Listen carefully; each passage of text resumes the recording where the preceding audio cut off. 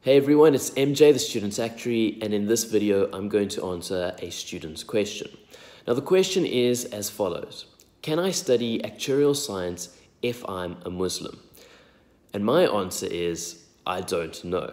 But, but I didn't make this entire video just to say that. If anything, this question fascinates me and I really want to know the answer. So I'm hoping that the comment section below can actually be a place for a fruitful discussion. I think the channel's mature enough that we're not going to go into some sort of religious flame war um, and that we can actually have constructive dialogue around this topic. What I do want to talk about is a little bit um, about yeah, just religion's history in general to, to finance. Um, I know with Christianity that usury is considered a sin. Now, what exactly is usury? That's where theologians have a bit of a debate.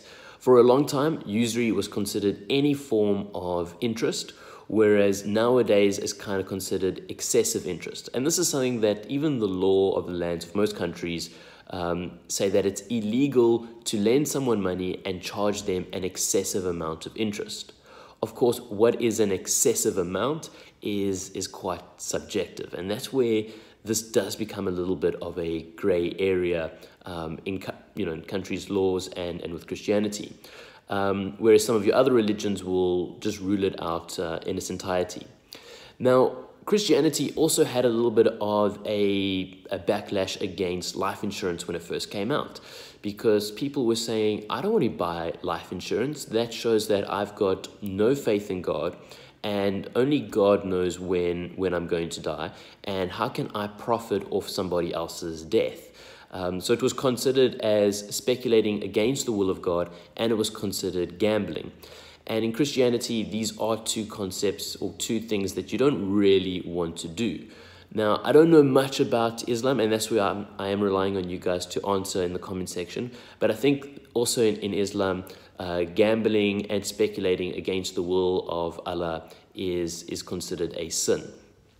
So what you have to do with, or what theologians and I guess financial people also had to do, was they had to structure their financial products or, or show that they had enough statistical certainty to show that these things were not uh, gambling and that you weren't betting on whether somebody's going to die or not, but rather that these life insurance products were a cooperative um, action taken by the community to safeguard widows and orphans.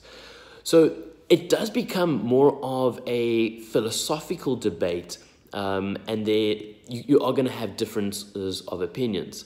Um, some Christians might say life insurance is wrong. Some Muslims might say life insurance is good. Some Jewish people might say, uh, you know, something else. And, and that is the thing that you need to, to consider is you need to look at, okay, what is my, what does my religion say? And also what because each religion has various different branches. What does the, the branch of my religion say? Uh, Catholics will say something to, different to, say, Protestants. Um, in Islam, you've also got the two big branches, Sunni and Shiite. And, and they will also might have, they might have a different, different outlook that you need to, to consider. So it's, it's an important question to, to ask yourself because the last thing you want to do is spend like eight years studying something and then you can't get a job because you're working in an area that contradicts your religious beliefs. So you want to think carefully, just from say like a practical point of view. Um, there are places that do design insurance products or, or financial products that are in line with Islamic rules.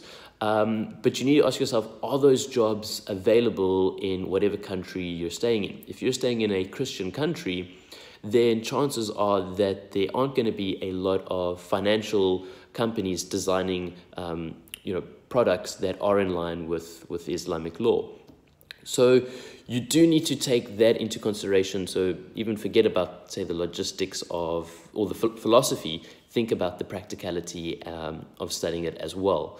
Um, there are other views. I mean, just looking on the Discord group, there were some guys who said, you know what, I see that it is maybe something like a wrong thing to do in Islam, but if I do enough uh, good deeds, it can maybe cancel that out.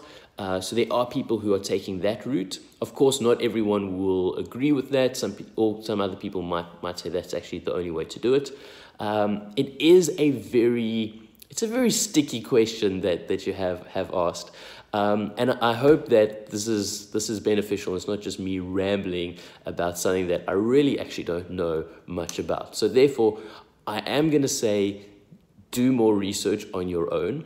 Um, but I do want to kickstart the dialogue because it is a question that I think a lot of people will be looking for and hopefully our comment section below can point people in the right direction so feel free to to share links um, to post arguments uh, but like always guys i mean our channel we are quite mature uh, we are respectful so um, I'm confident enough that that yeah, the comment section isn't going to go into a crazy flame war, um, because at the end of the day, I mean, yeah, we we're religious people, you know, strive to be righteous people, and, uh, and that's why it's always weird when they like go crazy on comment sections because they're like contradicting themselves.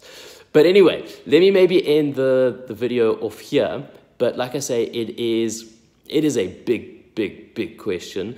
I'm not qualified to answer it, but I hope that this has kickstarted the discussion, and uh, I look forward to, to yeah, hearing your guys' views on it. Thanks so much for watching, and if you have any questions, feel free to ask me, and yeah, I'll make a video. Thanks, guys. Cheers.